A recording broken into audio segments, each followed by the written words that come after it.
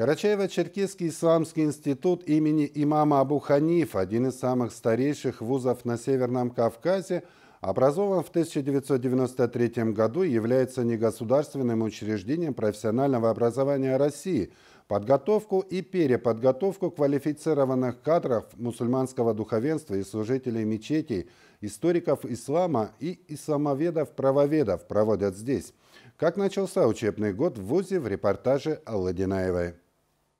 Сегодня в стенах Карачаево-Черкесского исламского института имени имама Абу Ханифа особая праздничная атмосфера. В торжественной обстановке первокурсникам вручили студенческие билеты и зачетные книжки. Желающих получить исламское образование стало в разы больше.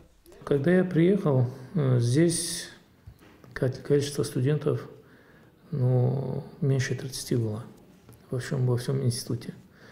В прошлом году мы приняли 40 человек. В этом году где-то 43 человека. Это уже это два курса уже 80. Э, Но из них бывает, в прошлом году были, кого отчислили, которые не посещал, э, потому что у нас э, строго. Обучающихся больше, и поэтому занятия для первокурсников сейчас проводят в просторном и недавно отремонтированном актовом зале – еще в январе это помещение выглядело вот так. А теперь здесь уютно и светло. Занятия сопровождает строительный шум. На сегодняшний день завершили ремонт во многих классах, библиотеке, столовой и не только. Масштабные работы ведутся и снаружи здания. Это отделка и замена кровли. Ее не планировали менять, но в один из ветренных дней крыша здания чуть не улетела и пришлось начать работу, рассказывает Мухаммад Хаджи Бачаев.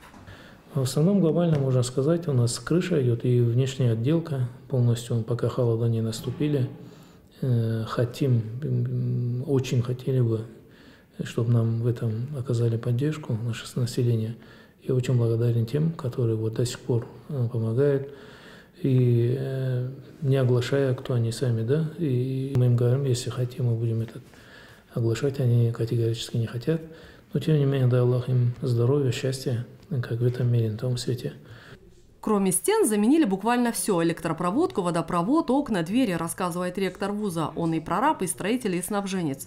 И все это делается благодаря жителям республики. А буквально вчера один человек приобрел батареи, чтобы заменить систему отопления института. Старые чугунные пришли в негодность, говорит ректор вуза.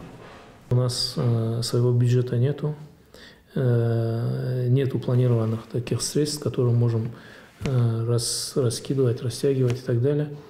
Все приходится делать самим, вплоть до зарплат. Сейчас в данный момент э, даже зарплаты у нас персонал состоит из 22 человек. Э, у всех есть семьи, всем нужна зарплата. Без зарплаты никого не сможешь здесь заставить работать. Продолжаются здесь и внутренние отделочные работы. Выпускать грамотных имамов и богословов – задача Исламского института. А создать комфортные условия для их обучения и проживания очень важно. Почему? Потому что это наше лицо. Ислам любит чистоту. Э, мусульманин, который учится в таких вузах, он должен ощущать себя комфортно. Условия должны быть. У нас всех есть дети, мы сюда берем чужих детей – они становятся тут как наши дети родные. Точно то, так же и относимся как к своим родным.